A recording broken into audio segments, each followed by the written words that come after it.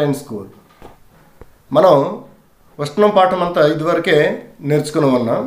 ఈరోజు ఏం చేద్దామంటే ఉష్ణం పాఠంలో ఉన్నటువంటి కొన్ని ప్రాబ్లమ్స్ని సాల్వ్ చేద్దాం కానీ మరి ప్రాబ్లమ్స్ సాల్వ్ చేయాలంటే ముందుగా మనం కొన్ని సూత్రాలు గుర్తు చేసుకుందాం. ఇందులో మొదటిది ఒక పదార్థం కోల్పోయే లేదా గ్రహించిన ఉష్ణానికి సమీకరణం క్యూ ఈజ్ కొట్టే ఎంఎస్ డెల్టా టీ ఇక్కడ ఎం అంటే పదార్థం యొక్క ద్రవ్యరాశి S విశిష్టోష్ణము delta T difference in temperature ఉష్ణోగ్రతలో మార్పు. అది పెరగటమైనా కావచ్చు తగ్గటమైనా కావచ్చు.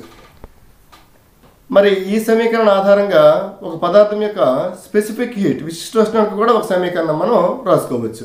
S is equal to Q by M delta T అలాగే మిశ్రమాల సూత్రం ద్వారా ఫలిత ఉష్ణోగ్రత కూడా మనం సమీకరణం నేర్చుకున్నాం. If M one mass of a substance at temperature T one is added to M two mass of substance same substance temperature temperature T two then of temperature of the mixture by T by T to equal to M one T one plus M two T two by M one plus M two M one ద్రవ్యరాశి గల ఒక పదార్థము tea one ఉష్ణోగ్రత వద్ద ఉందనుకుందాం ఎం two ద్రవ్యరాశి గల అదే పదార్థము టీ టూ ఉష్ణోగ్రత వద్ద ఉందనుకుందాం కానీ మరి రెండింటిని కలిపితే ఏర్పడే ఫలిత ఉష్ణోగ్రతకి సమీకరణం T is equal to M one T one plus M two T two by M one plus M two అలాగే మనము పదార్థం అనేది ఒక స్థితి నుండి మరో స్థితికి మారేటప్పుడు మనం ఉష్ణాన్ని ఏ విధంగా లెక్కిస్తాము అంటే క్యూ ఇస్ కొట్టి ఎంఎల్ అనే సూత్రం ద్వారా లెక్కిస్తాం ఇక్కడ ఎల్ అంటే లేటెంట్ హీట్ గుప్తోష్ణము. అది ద్రవీభవనం జరిగినప్పుడైతే దానిని ద్రవీభవన గుప్తోష్ణం అంటాం. బాష్పీభవనం జరిగిన సందర్భంలోనైతే ఎల్ని బాష్పీభవన గుప్తోష్ణం అంటాం. ఎల్వితో సూచిస్తాం. అలాగే ఈ పాఠంలో వచ్చిన మరికొన్నటువంటి ముఖ్యమైనటువంటి వాల్యూస్ని కూడా గుర్తు చేసుకునే ప్రయత్నం చేద్దాం కానీ ఒక కెలరీ అంటే four point one eight six joules. అంటే హీట్ తాలూకా సీజీఎస్ యూనిట్ని ఎస్ఐ యూనిట్స్లోకి కన్వర్షన్ చేసే విధానం. క్యాలరీస్ని జౌల్స్లోకి మార్చాలి అంటే four point one eight six జౌల్స్తో multiply చే ఫోర్ పాయింట్ వన్ ఎయిట్ సిక్స్తో మల్టిప్లై చేయాలి. Zero degree Celsius is equal to two seventy three kelvin సెల్సియస్లో ఉన్న దానిని కెల్విన్లోకి మార్చాలి అంటే టూ సెవెంటీ త్రీని యాడ్ చేయాలి. ఒక calorie by gram degree Celsius is equal to four point one eight six into ten cube joules by KG kelvin ఇది కూడా conversion of units from CGS to SI unit అలాగే మంచు యొక్క ద్రవీభవన స్థానం సున్నా డిగ్రీ సెల్సియస్ అని తెలుసు నీటి యొక్క బాష్పీభవన స్థానం వంద డిగ్రీ సెల్సియస్ అని కూడా మనకు తెలుసు. Melting point of ice is zero degree Celsius and boiling point of water is hundred degree Celsius specific heat of ice మంచి యొక్క విశిష్ట ఉష్ణము zero point five calories by gram degree Celsius అదే కానీ specific heat of water one calorie by gram degree Celsius అంటే ఇక్కడ మంచికి నీటికి విశిష్టోష్ణ విలువలు వేరువేరుగా ఉంటాయి. అంటే పదార్థం ఒకే పదార్థం ఒకే అణువులు కలిగిన పదార్థం అయినప్పటికీ స్థితి మారేటప్పుడు వాటి తాలూకు విశిష్టోష్ణం కూడా మారుతుంది అని మనం తెలుసుకోవచ్చు. Latent heat of fusion of fires ద్రవీభవన గుప్తోష్ణం విలువ ఎయిటీ క్యాలరీస్ బై గ్రామ్ అంటే దాని అర్థం ఏంటంటే ఒక గ్రామ్ మంచుని పూర్తిగా కరిగించడానికి ఎనభై క్యాలరీల ఉష్ణం అవసరం అవుతుంది అని అర్థం. అలాగే latent heat of vaporisation of water బాష్పీభవన గుప్తోష్ణం విలువ నీటికి five forty calories per gram. అంటే ఒక గ్రామ్ నీటిని పూర్తిగా ఆవిరిగా మార్చడానికి ఐదు వందల నలభై క్యాలరీల ఉష్ణాన్ని మనం అందించాలి. ఇంకా మరి టెంపరేచర్ కన్వర్షన్. మన మన ఈ క్లాసులో యాక్చువల్గా మూడు నాలుగు రకాల టెంపరేచర్ స్కేల్స్ ఉన్నాయి. మనకి రెండు రకాల స్కేల్స్ ఇవ్వడం జరిగింది. ఒకటి సెల్సియస్ స్కేల్ రెండవది కెల్విన్ స్కేల్. సెల్సియస్ స్కేల్లో ఉన్నదాన్ని కెల్విన్ స్కేల్లోకి మార్చడం ఎలా? కెల్విన్స్లో ఉన్నది సెల్సియస్ స్కేల్స్లో మార్చడం ఎలా? సెల్సియస్ స్కేల్ని కెల్విన్స్లోకి మార్చాలి అంటే ఏం చేయాలి? Temperature in kelvin is equal to two seventy three plus temperature in degree Celsius సింపుల్గా సెల్సియస్ని కెల్విన్లోకి మార్చాలి అంటే టూ సెవెంటీ త్రీ యాడ్ చేయాలి. K is equal to degree Celsius plus two seventy three అదేవిధంగా ఒకవేళ కెల్విన్స్లో ఇచ్చి సెల్సియస్లోకి మార్చాలంటే ఏం చేయాలి? కెల్విన్స్లో ఇచ్చిన విలువలో నుంచి టూ సెవెంటీ త్రీని సబ్ట్రాక్ట్ చేయాలి. Temperature in degree Celsius is equal to temperature in kelvin minus two seventy three. Degree Celsius is equal to K minus two seventy three.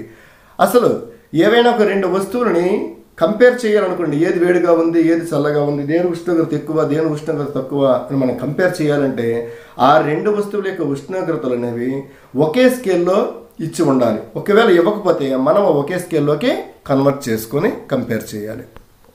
సరే ఇప్పుడు మనం కొన్ని ప్రాబ్లమ్స్ని చూద్దాం కానీ ముందుగా ఇక్కడ ప్రాబ్లం ఏంటో చూడండి.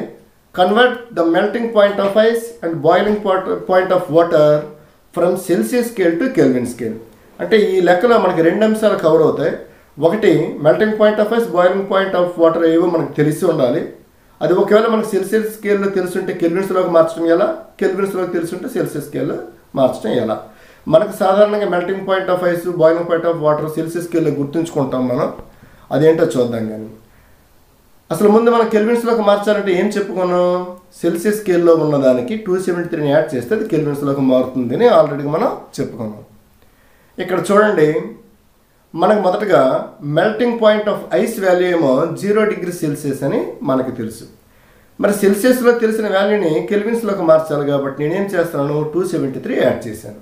Zero plus two seventy three is equal to two seventy three kelvin అంటే మెల్టింగ్ పాయింట్ ఆఫ్ ఐస్ ఈ zero degree Celsius in Celsius scale two seventy three kelvin in kelvin scale ఇప్పుడు మనం బాయిలింగ్ పాయింట్ ఆఫ్ వాటర్ ఏంటో చూద్దాం కానీ Celsius scale మీద boiling point of water hundred degree Celsius దీన్ని మనం కెల్విన్స్లోకి మార్చాలనుకోండి టూ సెవెంటీ త్రీని యాడ్ చేసాం hundred plus two seventy three three seventy three kelvin అంటే boiling point of water three seventy three kelvin ఇప్పుడు మనం రెండు స్కేల్స్లో ఒకేసారి చెప్పామనుకోండి melting point of ice and boiling point of water are zero degree Celsius and hundred degree Celsius respectively on Celsius scale and they are two seventy three kelvin and three seventy three kelvin on kelvin scale ఈ రకంగా మనం సెల్సియస్లో ఉన్నదాన్ని కెల్విన్స్లోకి convert చేసుకోవచ్చు. ఇప్పుడు మరో ప్రాబ్లమ్ని మనం solve చేసే ప్రయత్నం చేద్దాం. ఇక్కడ ఏమి ఇచ్చాను చేత చూడండి. ప్రాబ్లంలో three objects A at thirty degree Celsius B at three nought three kelvin and C at four twenty kelvin are in thermal contact then answer the following questions first question which are in thermal equilibrium among A and C from which object to another heat transferred అంటే ఇక్కడ మూడు వేరువేరు వస్తువులు ఇవ్వబడ్డాయి. ఏ అనే వస్తువు యొక్క ఉష్ణోగ్రతనేమో Celsius scale మీద ఇచ్చాడు. బి సి వస్తువుల యొక్క ఉష్ణోగ్రతలు ఏమో కెల్విన్ స్కేల్స్ మీద ఇచ్చాడు. ఈ మూడింటిని కూడా ధార్మిక స్పర్శలో ఉంచాను అన్నాడు. ధార్మిక స్పర్శలో ఉంచితే ఏమవుతుంది? కొంతసేపటికి ఉష్ణ సమతా స్థితి ఏర్పడుతుందని మనకు తెలుసు. మరి ఉష్ణ సమతస్థితి ఏర్పడాలి అంటే ఉష్ణం ఎక్కడి నుండి ఎక్కడికి ప్రవహించాలి? వేడి వస్తువు నుండి చలన వస్తువుకి ప్రవహించాలి. అంటే మరి ఇందులో ఏడు ఏది వేడి వస్తువు ఏది చలన వస్తువు అని మనం పోల్చాలి అంటే ఈ మూడు వస్తువుల యొక్క ఉష్ణోగ్రతల్ని అయితే సెల్సియస్ స్కేల్లోనికైనా మార్చుకోవచ్చు లేదా కెల్విన్ స్కేల్స్లోకైనా మార్చుకోవచ్చు. మార్చుకొని మనం ఒకదానితో మరొకదాన్ని కంపేర్ చేయడానికి అవుతుంది అప్పుడు ఉష్ణం ఎక్కడి నుండి ఎక్కడ ప్రవహిస్తుందో మనకి తెలుస్తుంది. ఇక్కడ మనకు ముందు నేర్చుకున్నట్టుగా మనం ఏం చెప్పాం? సెల్సియస్ స్కేల్లో ఉన్నదాన్ని కెల్విన్లోకి మార్చాలి అంటే టూ సెవెంటీ త్రీ యాడ్ చేయాలి. ఒకవేళ కెల్విన్ స్కేల్లో ఉన్నదాన్ని సెల్సియస్ స్కేల్స్లోకి మార్చాలి అంటే టూ సెవెంటీ త్రీ సబ్ట్రాక్ట్ చేయాలి. ఇప్పుడు ఏం చేద్దామంటే ఇచ్చిన మూడు ఆబ్జెక్ట్స్ తాలూకా టెంపరేచర్స్ని ఒక టేబుల్లో మనం రిప్రజెంట్ చేద్దాం కానీ ఇక్కడ జాగ్రత్తగా అబ్జర్వ్ చేయండి ఈ టేబుల్లో ఏబిసి అనే మూడు ఆబ్జెక్ట్స్ వాటి టెంపరేచర్స్ ఏనా ఆబ్జెక్ట్ తాలూకా టెంపరేచర్ సెల్సియస్ స్కేల్లో ఇచ్చాడు? థర్టీ డిగ్రీస్ సెల్సియస్ స్కేల్ దగ్గర రాశాను. బి అండ్ సి తాలూకా ఆబ్జెక్ట్స్ యొక్క టెంపరేచర్ని కెల్విన్ స్కేల్ మీద ఇచ్చాడు. Three nought three and four twenty kelvin ఇలా మనం ఒకటేమో సెల్సియస్ స్కేల్లో రెండేమో కెల్విన్ స్కేల్లో ఇచ్చేటప్పుడు మనం కెల్విన్లో ఉన్న రెండింటిని కంపేర్ చేయగలం బీసీలని ఎందుకంటే రెండు ఒకే స్కేల్లో ఉన్నాయి.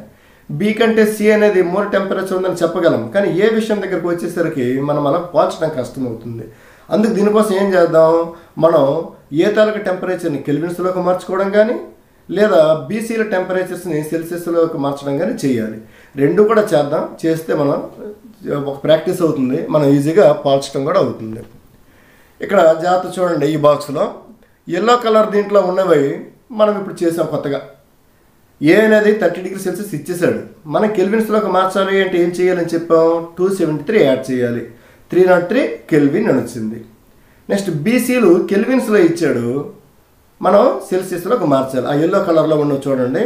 ఇక్కడ ఏం చేశాను? కెల్విన్స్లో ఉన్నదాన్ని సెల్సియస్లోకి మార్చాలి కాబట్టి టూ సెవెంటీ త్రీ సబ్ట్రాక్ట్ చేశాను. Three nought three minus two seventy three thirty degree Celsius four twenty minus two seventy three one forty seven degree Celsius ఇప్పుడు మనం ఏబిసి అనే మూడు వస్తువుల తాలూకు ఉష్ణోగ్రతల్ని అయితే సెల్సియస్ స్కేల్లోనైనా కంపేర్ చేసుకోవచ్చు లేదా కెల్విన్ స్కేల్లోనైనా కంపేర్ చేయొచ్చు. ఏదో ఒక స్కేల్లో సులభంగా కంపేర్ చేయొచ్చు. మనం ఇంకా ఈజీగా పోల్చేయచ్చు ఈ మూడింట్లో ఒక రెండు వస్తువుల ఉష్ణోగ్రతలు సమానంగానే ఉన్నాయి. ఏంటి ఏ అండ్ బి మీరు సెల్సియస్ స్కేల్లో కంపేర్ చేసిన కెల్విన్ కే స్కేల్లో కంపేర్ చేసిన రెండింటి తరగతి టెంపరేచర్స్ ఈక్వల్గానే ఉన్నాయి. అంటే A and B are and thermal equilibrium ఆ రెండు అసలు థర్మల్ ఈక్విలిబ్రియంలో ఉన్నట్లే లెక్క. కాంటాక్ట్ అవ్వకముందు కూడా. సరే కానీ ఈ రెండిటితో పోల్చుకుంటే ఏది వేడి వస్తువు? సి అనేది వేడి వస్తువు. కాబట్టి ఇప్పుడు ఏ బిసి మూడింటిని కూడా థర్మల్ కాంటాక్ట్లో ఉంచామనుకోండి సి నుండి ఏబిలకు ఉష్ణం అనేది సరఫరా జరుగుతుంది లేదా ప్రసారం అవుతుంది. A and B are and thermal equilibrium heat transferred from C to A and B ఈ విధంగా మనం కెల్విన్ అండ్ సెల్సియస్ స్కేల్ని ఒక దాంట్లో నుంచి మరో దాంట్లో కన్వర్ట్ చేసుకుంటూ కంపేర్ చేయొచ్చు. ఇది కొద్దిగా మీరు మరికొన్ని వాల్యూస్ మీరు తీసుకొని అంటే మీ మనకి డైలీగా వార్తల్లో ఒక ప్రధానంగా నాలుగు పట్టణాల్లో నమోదైన గరిష్ట కనిష్ట ఉష్ణోగ్రతలు ఇస్తూ ఉంటాడు. అలాంటి మీరు ఒక ఎగ్జాంపుల్ తీసుకొని వాడు సెల్సియస్లో ఇస్తాడు మీరు కెల్విన్స్లోకి మార్చండి మీ టీచర్కి చూపించండి. తర్వాత మెథడ్ ఆఫ్ మిక్సెస్ని బేస్ చేసుకుంటూ ఒక లెక్క చేద్దాం కానీ ఈ మెథడ్ ఆఫ్ మిక్సెస్లో మరలా కూడా రెండు కేసెస్ ఉంటాయి. ఏంటి రెండు కేసెస్ రెండు పదార్థాల యొక్క ద్రవ్యరాశులు వేరు వేరు ఉష్ణోగ్రతలు వేరు వేరు. వాటిని కలిపితే ఫలిత ఉష్ణోగ్రత ఎంత? ఇది ఒక పార్ట్. ఒకవేళ ఒకే పదార్థానికి చెందిన రెండు వస్తువుల యొక్క ద్రవ్యరాశులు సమానంగా ఉండి ఉష్ణోగ్రతలు వేరువేరుగా ఉంటే ఫలిత ఉష్ణోగ్రతను ఎలా లెక్కించాలి? ఈ రెండింటి కూడా చిన్న చిన్న రెండు లెక్కల రూపంలో మనం సాల్వ్ చేసుకుందాం కానీ ఇక్కడ ఇచ్చిన లెక్క ఏంటో చదువుదాం. What would be the final temperature of a mixture of sixty grams of water at twelve degree Celsius and forty grams of water at sixty degree Celsius అందులో మరో sub case if the masses of water are fifty grams each with same temperatures find the final temperature of the mixture అంటే first ఇచ్చే లెక్కలోన fifty gram మొదటి fifty గ్రామ్స్కి ఏమో twenty degree Celsius కింద లెక్క రెండో ఫిఫ్టీ గ్రామ్స్కి ఏమో సిక్స్టీ డిగ్రీ సెల్సియస్ కింద లెక్క. అప్పుడు రిజల్టెంట్ టెంపరేచర్ ఎంత క్యాలిక్యులేట్ చేయండి అన్నాం. ముందుగా ఇందులో మొదటి ప్రాబ్లమ్ని మనం సాల్వ్ చేద్దాం కానీ ఇందులో మొదటి ప్రాబ్లంలో జాగ్రత్త చూడండి. Given that M one is equal to sixty grams T one is equal to twenty degree Celsius మొదటి పదార్థం ద్రవ్యరాశి అరవై గ్రాములను ఇచ్చాడు. ఉష్ణోగ్రత ట్వంటీ డిగ్రీ సెల్సియస్ అని ఇచ్చాడు లెక్కలో. రెండవ పదార్థం యొక్క అంటే అదే పదార్థమే కాకపోతే రెండవ భాగం యొక్క ద్రవ్యరాశి ఫార్టీ గ్రామ్స్ టెంపరేచరము సిక్స్టీ డిగ్రీ సెల్సియస్ ఈ రెండింటికి ద్రవ్యరాశులు వేరువేరుగా ఉన్నాయి ఉష్ణోగ్రతలు వేరువేరుగా ఉన్నాయి. కాకపోతే రెండు ఒకే పదార్థానికి చెందినవి. మరి వీటి ఫలిత ఉష్ణోగ్రతకు సూత్రం ఏంటి? టీ ఈజ్ ఈక్వల్ టు అంటే టీ అనేది కానీ రిజల్టెంట్ టెంపరేచర్ అయినట్లయితే రిజల్టెంట్ ఆర్ ఫైనల్ టెంపరేచర్ తుది ఉష్ణోగ్రత లేదా ఫలిత ఉష్ణోగ్రత అయినట్లయితే T is equal to M one T one plus M two T two by M one plus M two మా వాల్యూస్ని పైన ఉన్నటువంటి వాల్యూస్ని కింద ఉన్న ఫార్ములాలో మనం సబ్స్టిట్యూట్ చేద్దాం సింప్లిఫై చేద్దాం కానీ అప్పుడు మనకి ఏమొచ్చింది? Sixty into twenty plus forty into sixty అంటే M one T one plus M two T two part ఇది. By M one plus M two అంటే ఫార్టీ ప్లస్ సిక్స్టీ. దీన్ని మనం సింప్లిఫై చేస్తే three thousand six hundred by hundred అని వచ్చింది. Thirty six degrees Celsius అంటే ఇప్పుడు అందులో మొదటి కేసులో ఎప్పుడు? ఎం వన్ ఎం టూ వేరువేరు టెంపరేచర్స్ వేరువేరు రిజల్టింగ్ టెంపరేచర్ని మనము ఈ ఫార్ములా వాడి మనం చేసాం. దీని ఎంత వచ్చింది వాల్యూ అంటే థర్టీ సిక్స్ డిగ్రీ సెల్సియస్ అని వచ్చింది. ఇందులో ఉన్నటువంటి next case masses equal temperatures different అప్పుడు కూడా మనం ఇదే ఫార్ములా వాడి కూడా లెక్క చేయొచ్చు. అంతకన్నా డైరెక్ట్గా మళ్ళీ ఎలా చేయొచ్చో చూద్దాం కానీ here M one is equal to M two is equal to fifty grams T one twenty degree Celsius T two sixty degree Celsius temperatures అవే ఉన్నాయి అని చెప్పాం. మరి ఇక్కడ M one is equal to M two అయిపోతే మనకి ఆ resultant temperature of mixer తాలూకు formula ఎలా మారిపోతుంది అంటే T is equal to T one plus T two by two అంటే the average of the temperatures is the resultant temperature ఒకవేళ ఒకే పదార్థానికి చెందినటువంటివి మూడు వేరు వేరు మూడు వేరు వేరు భాగాలు ఇచ్చి వేరు వేరు ఉష్ణోగ్రతల దగ్గర ఇస్తే మొదటిలాగే లెక్క చేస్తాం. M one T one plus M two T two plus M three T three by M one plus M two plus M three అంటాం. అలా కాకుండా వాటి ద్రవ్యరాశులు ఒకేలా ఇచ్చి వేరు వేరు ఉష్ణోగ్రతలు ఇస్తే T one plus T two plus T three by three అని వేస్ట్ చేయొచ్చు. ఇలా మనం అప్లై చేసుకుని యావరేజ్ అంటే ఇక్కడ ఏంటంటే మాస్ ఈక్వల్ అయ్యాయి అనుకోండి వాటి average temperature resultant temperature అవుతుంది.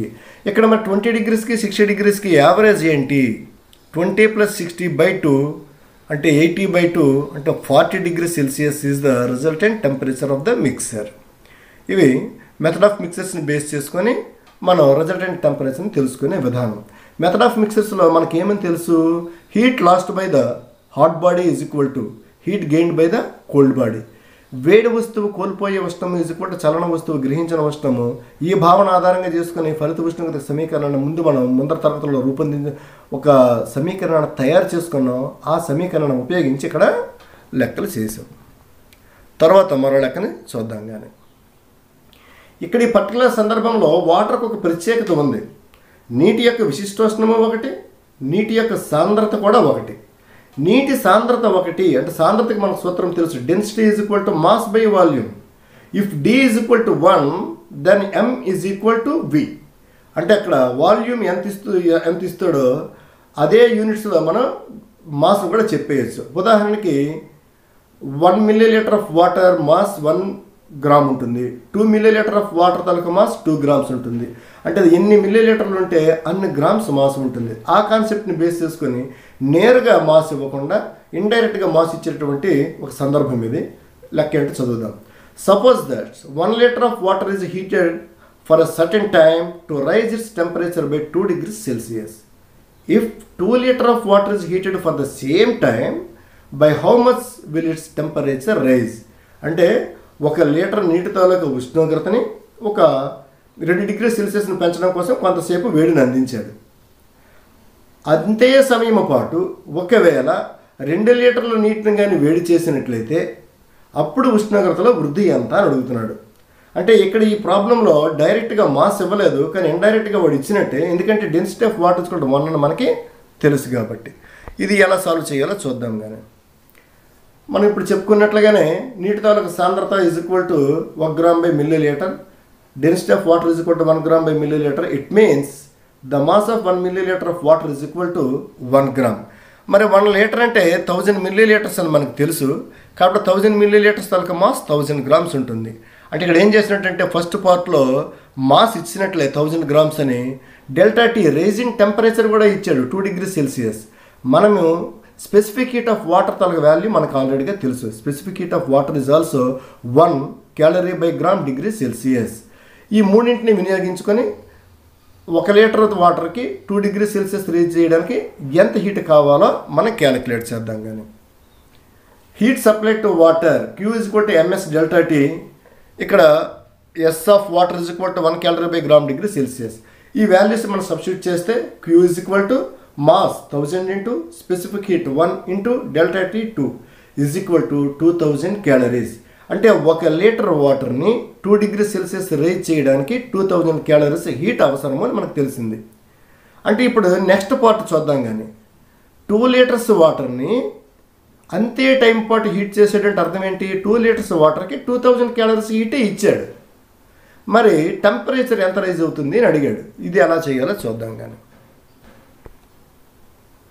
సరే రెండో సందర్భంలో mass of two litres of water అంటే two thousand ML it is equal to two thousand grams heat supplied first కేసులో ఎంత హీట్ ఇచ్చాడు అంతే హీట్ ఇచ్చాడు లెక్కలో ఇచ్చాడు కాబట్టి టూ థౌజండ్ క్యాలరీస్ అని హీట్గా రాసుకోవాలి. ఇక్కడ మనం ఏం క్యాలిక్యులేట్ చేయాలి? టెంపరేచర్ డిఫరెన్స్ డెల్టా టీని మనం ఇక్కడ క్యాలిక్యులేట్ చేయాలి. ఇక్కడ కూడా మనం ఉపయోగించాల్సిన ఫార్ములా ఏంటి? Q is equal to MS delta T delta టీనే కాకపోతే ఇక్కడ క్యూ తెలుసు. ఎం తెలుసు ఎస్ తెలుసు మనం డెల్టా టీని ఫైండ్ అవుట్ చేయాలి. ఆ ఇచ్చిన వాల్యూస్ అన్నింటిని కూడా ఈ ఫార్ములా మనం సబ్స్టిట్యూట్ చేస్తే two thousand is equal to అంటే క్యూ అంటే two thousand calories is equal to M two thousand grams into specific heat one calorie by gram degree Celsius into delta T మనం find out చేయాలి. సరే అక్కడ equation మనం simplify చేస్తే delta T ఏమని వచ్చింది?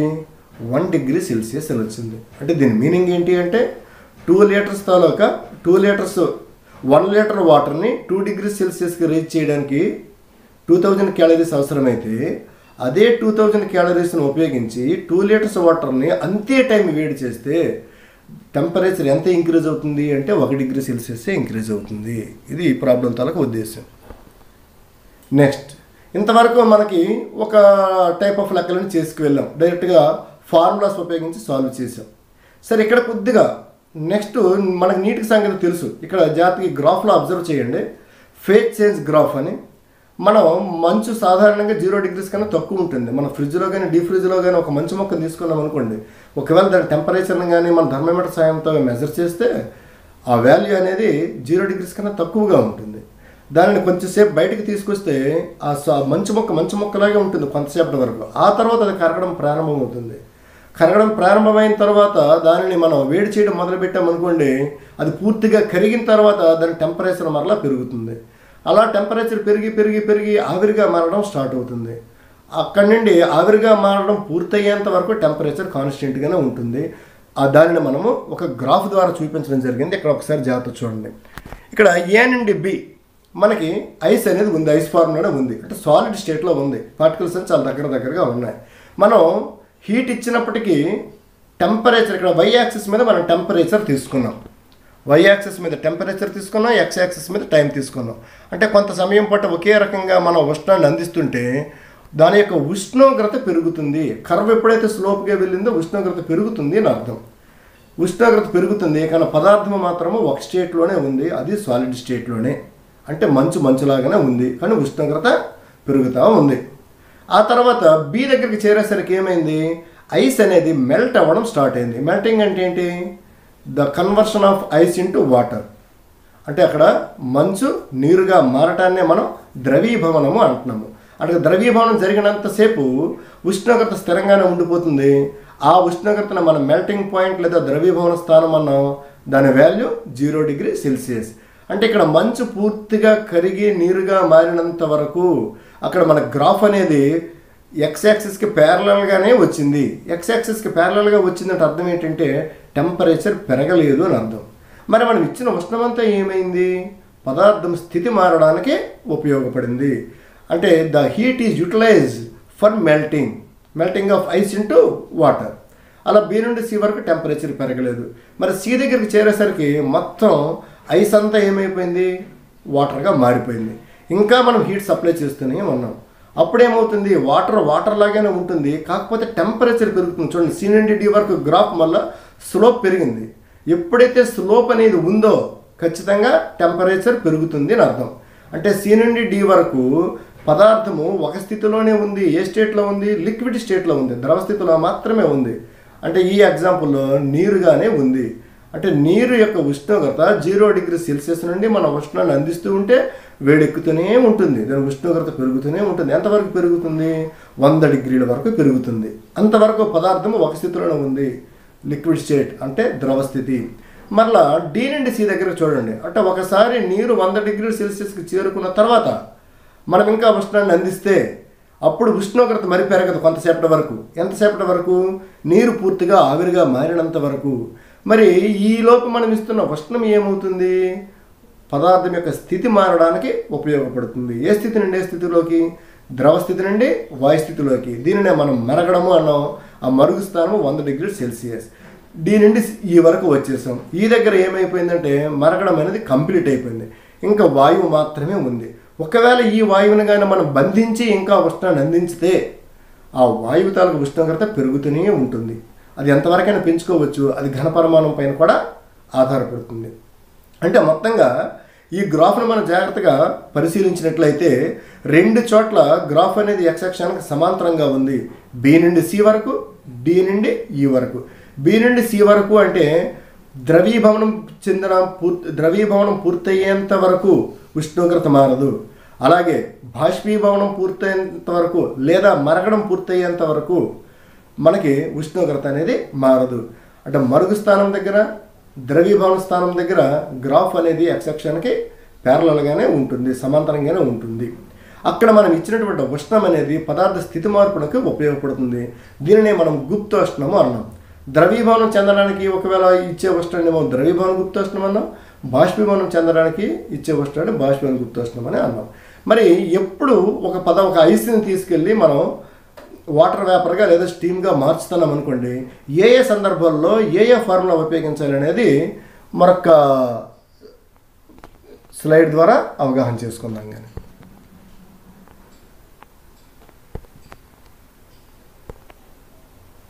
ఇక్కడ చాలా జాబ్ చూడండి. అక్కడ ఎక్కడ ఏ ఫార్ములా వాడాలనేది నేను ఇచ్చాను.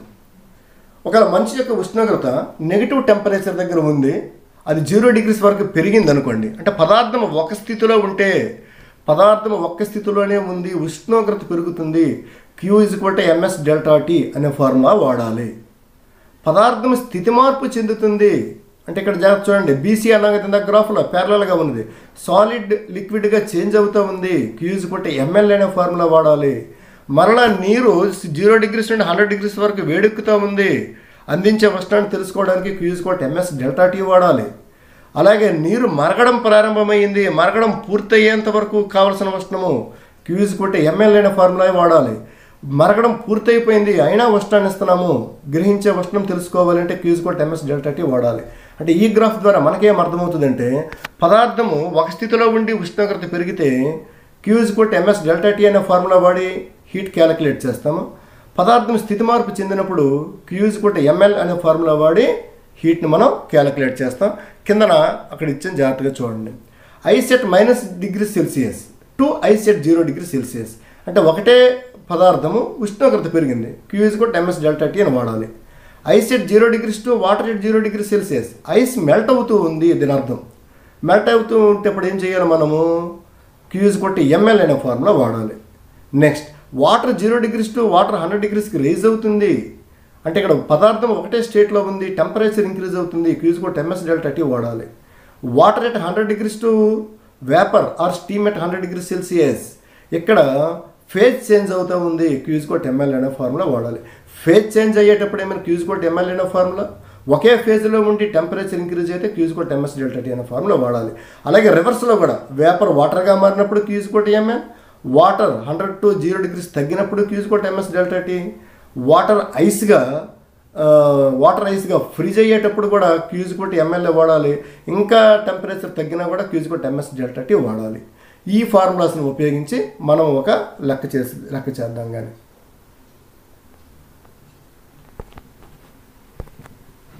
సరే ఇక్కడ లెక్క జాగ్రత్త చదవండి. ఇది మన టెక్స్ట్ బుక్లో ఇచ్చినటువంటి లెక్కే.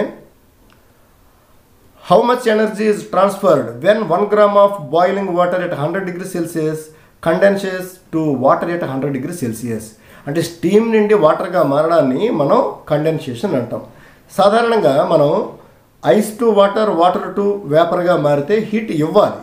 అలా కాకుండా రివర్స్లో వేపర్ టు వా వాటర్గా కండెన్స్ అయినా వాటర్ అనేది ఐస్గా ఫ్రీజ్ అయినా అప్పుడు మనం ఏం చేస్తామంటే అది హీట్ను కొంత లూజ్ అవుతుంది.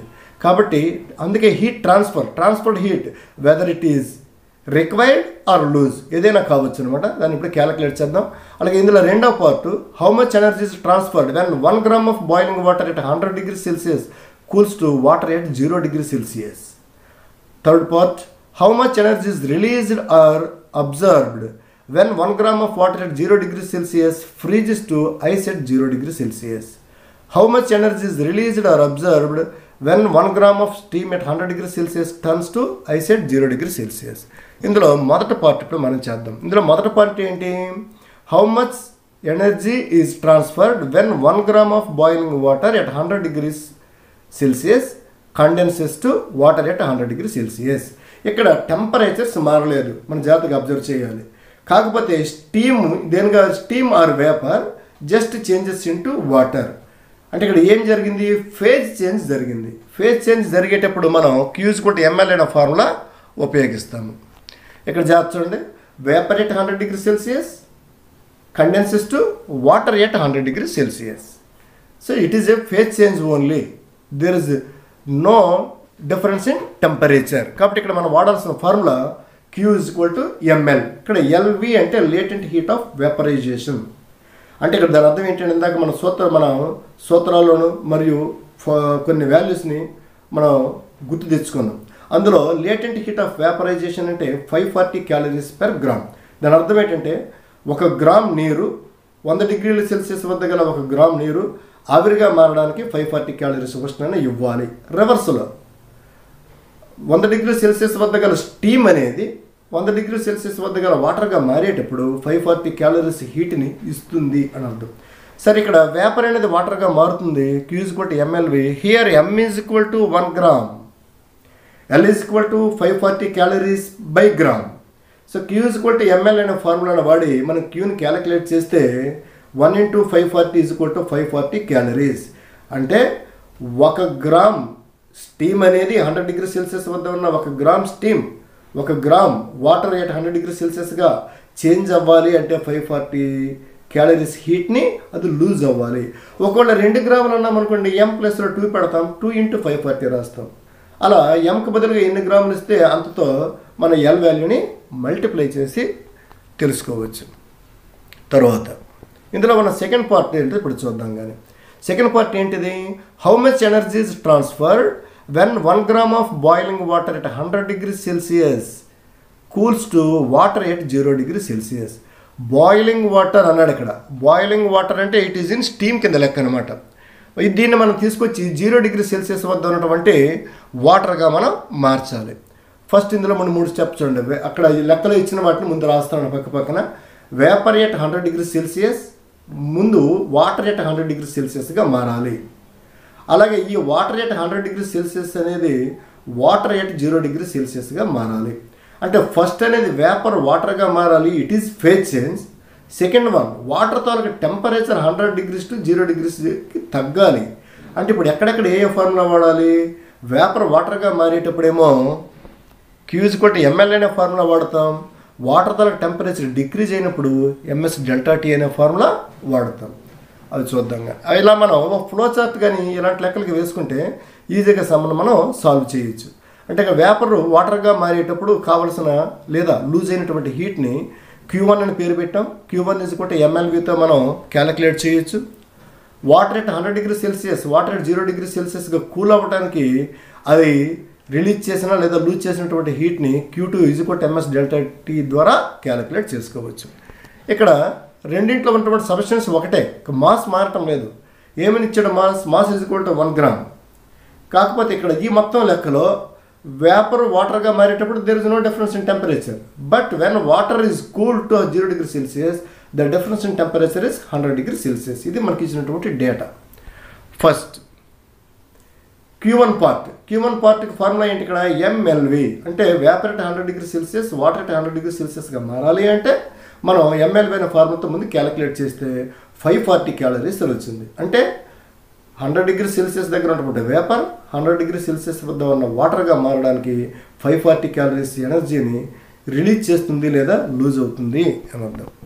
Next water hundred degrees to zero డిగ్రీస్కి cool అవ్వాలి అంటే ఎంఎస్ డెల్టా టీ ఫార్ములా ప్రకారం ఇక్కడ M one gram S one calorie by gram degree Celsius into delta T hundred degree Celsius say మూడింటిని మల్టిప్లై చేస్తే మనకు హండ్రెడ్ క్యాలరీస్ వచ్చింది.